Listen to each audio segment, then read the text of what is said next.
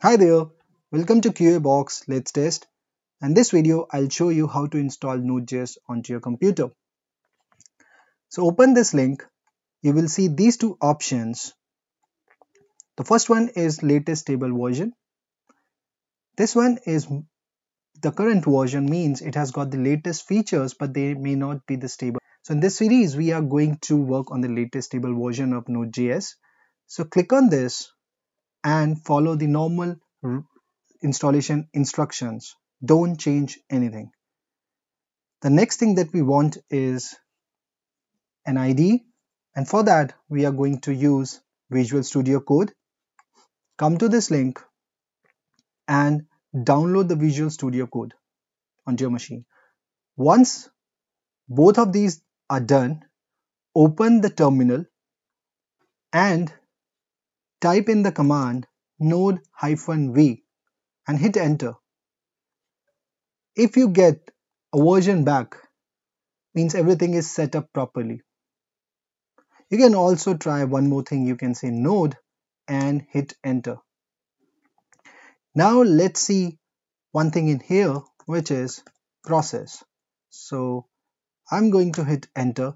So now you could see all the different components that are there in the node. So the node version itself, then the V8 we talked about in the previous video, then the UV version and so on. Okay, so to exit out from this, you have to use the command process dot exit and you are out of this. Now to launch Visual Studio Code at this location, you have to say code space dot hit enter.